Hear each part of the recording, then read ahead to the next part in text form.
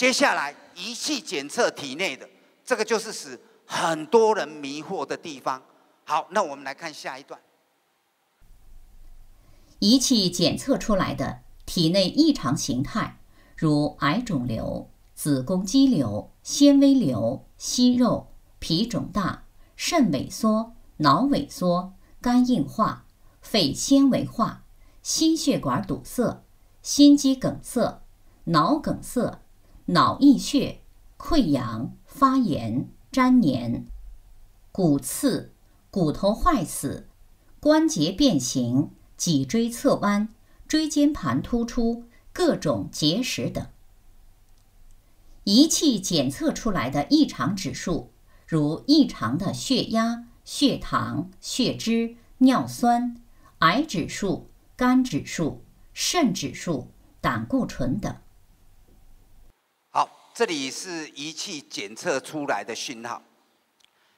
念一次，给你们有一个印象。这里我要表明的就是，这里跟疾病的症与状完全不相干，也就是这些检查跟治疗完全是无关的。我的理由就在下面，我们仔细来看下面。由于有疾病症状才有医学，因此人之健康与否是以症状之有无为准。而所有身体的异常，既不是正的不适感及体力虚弱与壮的体表组织受损，也不能反映热能不足及体伤的真实状况，跟判断健康与否的诊断及从因解除症状的治疗无关，故不必再细究其中仪器检测体内的异常形态有无壮的组织受损。这一段非常艰涩，不容易懂。以前没有仪器的时候，人们知不知道他生病了？知道，从哪里知道？从症状。所以很简单，症状的有无代表有没有健康，对不对？有症状就是生病了，不是健康的人。那没有症状就是代表健康。以前的人脑袋是很清晰的。好，那所以你要判断健康与否，先看有没有症状。这是最基本。好，那我们来看这些刚刚你们念的仪器检测出来体内的异常形态，还有指数，它有没有症跟状？没有。这些既这些身体所有的异常，既不是症的不适感及体力虚弱，也没有状的体表组织受损。所以这些检测跟疾病又有什么关系呢？所以在我们。论国的第二段就是在谈这里，异常形态与异常指数有没有跟既非症也非状，跟症状是没有因果关系的。这里只是在重复一次而已。好，那它能不能反映热能不足与体伤的真实状况？因为我们说所有疾病不外有两种，就是一个是组织运作失常，一个是。能量不够的热能不足问题，只有这两个。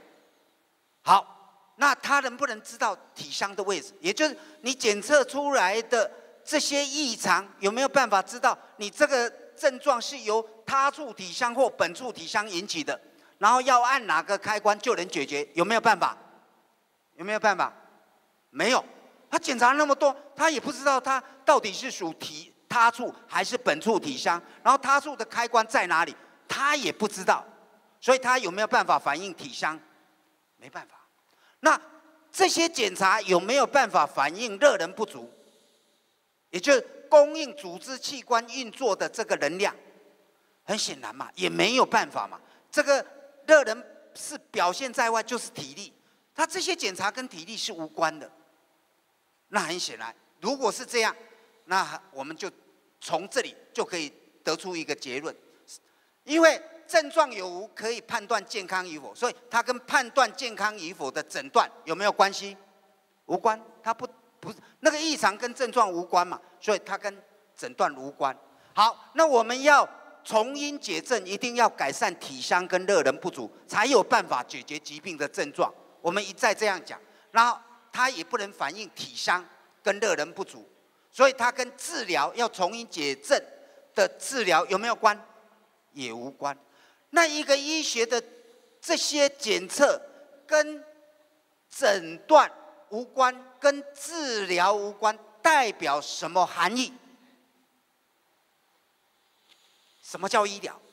医疗有两个要素，必须要包括诊断跟治疗。啊，既然这一个检查跟诊断也无关，跟治疗也无关，表示它是不是属于医疗范畴？我这样讲够清楚了吧？好，那这这个是一个很重大的问题呀，已经超出医疗的范畴，它不是医疗的范围内。医疗一定要跟诊断还有治疗是有关系，但是它这两者都没有关系，这是第一点。好，那接接着有人问呢，那体体表有组状的组织受损，体内也会有啊？哦，比如脑溢血，那明明就出血了，对不对？或是胃出血也有啊，那你怎么能说只有异常而非状的组织受损呢？你们会不会有这样疑虑？一定有。如果对医学又要追究下来，一定会问这个问题。但是很显然，古代没有仪器的时候，也不知道他有没有脑溢血或脑梗塞或心肌梗塞或是胃出血，有没有？他不知道。他也不知道，可能他气胸了，什么都不知道。但是他能不能治好？中医能不能治好？中医绝对可以，因为中医从哪里解决呢？中医从观察他的症或状。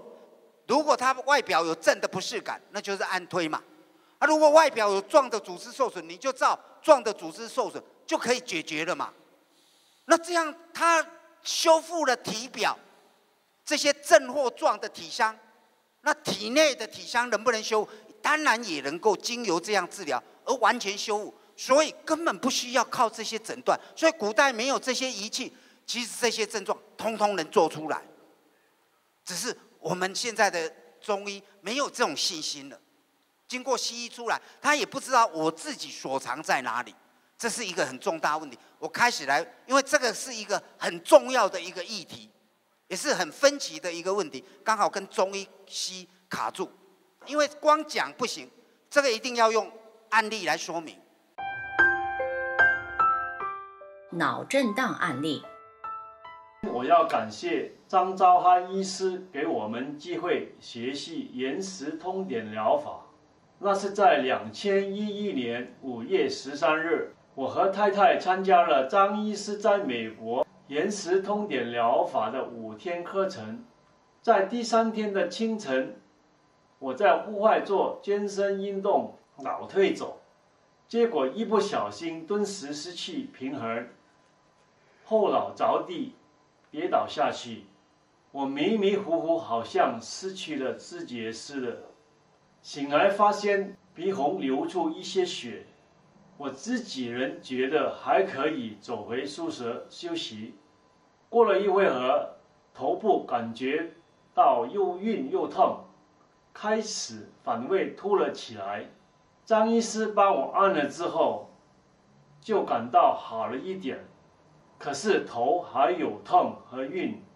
张医师说按了之后还有痛，就肯定是头部组织受损。最怕是有了淤血，就必须二十四小时做温敷，喝人参姜汤，早晚按一次。如果三个月不好，六个月一定会好的。开始的头两天，不想吃也不想喝，眼睛也看不清楚，背部很痛。背部做了延时通点疗法一个星期之后。背部不疼了，胃口也好了，经常的打嗝也没有了。继续按着第二个星期之后，头不痛了，温敷就减少，人参姜汤还是每天喝。我一直都没有去看医生，可是我的心里好想知道，我的头部到底怎么样。太太要我。等好了才去看，因为照 CT scan 的放射线很伤身体。两个半月后，我去照了 CT scan，医生很紧张，说我的头颅裂了，没有淤血，但肿还没有完全消掉，要我明天回去看报告。医生并说我的运气真好，才没有淤血，没发生大事。结果医生又说没有什么好治疗的。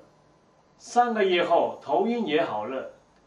医生可知道，三个月来，我的太太为我连续每天做延时通点疗法，已经发挥了决定性的作用。感谢张医师的无私教导，教导我们新的简易的保健方法——延时通点疗法。谢谢。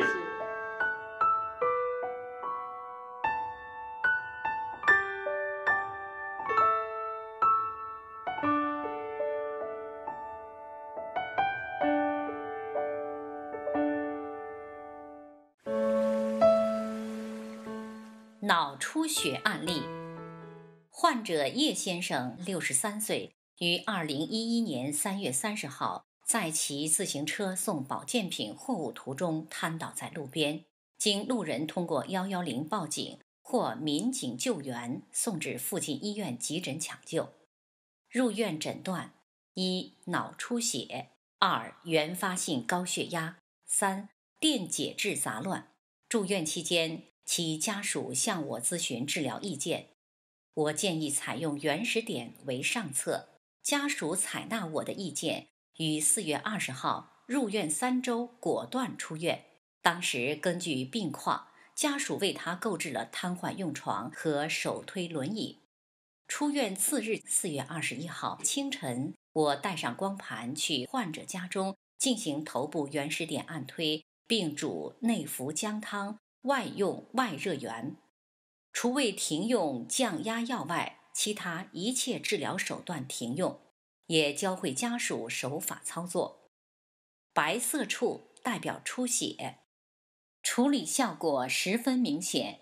一周后，患者可下床走动；一个月后，生活基本可自理。当初准备的床和轮椅均未使用。四个月后，八月十五号。颅脑 CT 复查，血块已完全吸收，脑结构基本恢复正常。于二零一四年六月五号再度登门造访，患者一切正常，并可操作配锁。出血处已恢复，前后历经四个多月。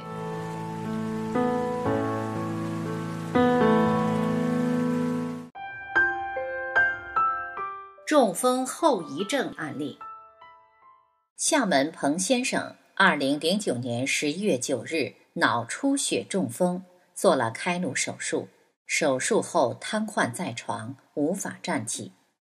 二零一一年底遇到原始点时，双腿肌肉已萎缩。彭太太认真学习原始点理论及手法，帮他按推。经过一年的努力。中风后遗症已有大幅改善。将我的故事讲给大家听。我老公就突然间倒下去，也去动手术嘛。医生做手术完出来跟我讲说：“你老公手术是很成功，但是他的讲话是要你像教小孩子一样，一句一句的教他，一手一脚就不能动。”其实哦，我在中风中中风时候，我自己讲话更讲听不清，听不清楚。自己听不清楚。对。对。哦，现在跟着我老婆每天每天按摩又是疗法。现在有有有时有时候跟我老婆小吵架，又又吵架的。现在他一天可以爬一百一百多层的楼梯，在家里现在都一直起来。这个这这这这个这个地方走路小 case，每天锻炼哦，每天早上跟一一一直一到晚上一整天爬楼梯，现在目前爬楼梯六十层哦，每个半小时，差不多客厅走路走路，差不多放没有没放手环，走路差不多十趟。等等，证明半个小时在华山，那扶扶扶扶手往上降，扶手，学出去学习嘛，往上，好手，每每五分钟举手十五下，拍下来这个。每半小时刷手三十下。哦，太好了。我每天都按每天按功课表，要自我要求。太棒了。好，OK。二零一四年五月十五日，帮太太推揉。二零一四年八月一日，晒衣服。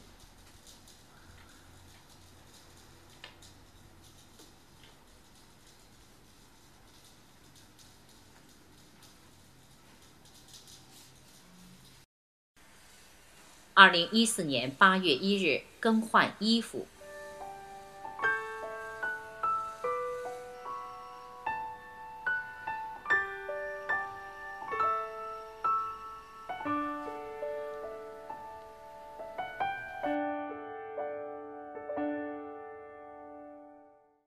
好，这三个案例我要呈现的是，就是这一句话：疾病要解决是要解决患者的症跟状，对不对？比如说他偏瘫呐、口眼歪斜啊这一类嘛。还有像我第一个案例，他就是哇很多症状，摔倒之后头痛、头晕、吃不下、眼睛看不清楚，有没有？还有背痛，这些症状有没有解决了？我通通解决了。但我是因为他照出来。照他们西医的判断去治疗吗？没有啊，我就是知道他一不会就是体香，那体香揉了没有效，就是本处体香，那没有本处体香一定要怎么样？重用内外热源呐，所以我叫他一定要喝生生姜汤，有没有？然后要温敷啊，二十四小时温敷啊，然后因为有体香还要怎么样？按推有没有？然后他两个半夜去检查，果然不如我所料，他组织有没有受损？有，确定。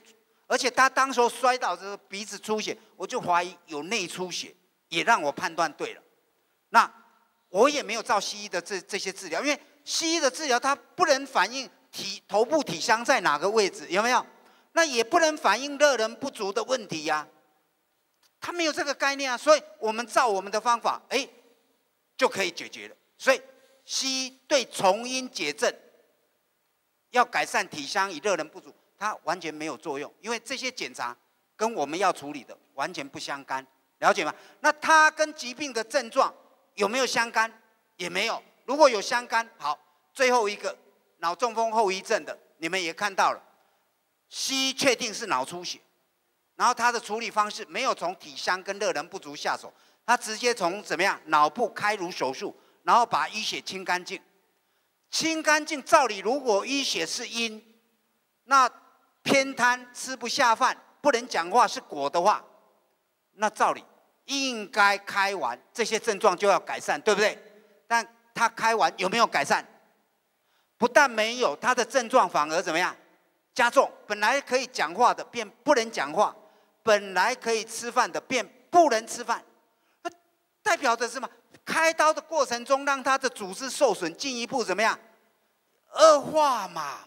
而这些恶化。根本跟原来他的症状完全是无关，因为开刀会不会消耗热能？会嘛？那又是因为热能引起的。那开刀会不会伤害组织受损？